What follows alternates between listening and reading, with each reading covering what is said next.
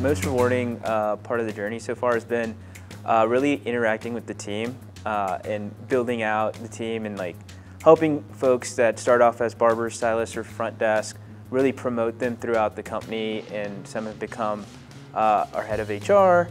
Uh, you know, some uh, have been involved in the accounting department. We have over 300 employees across those different geographies.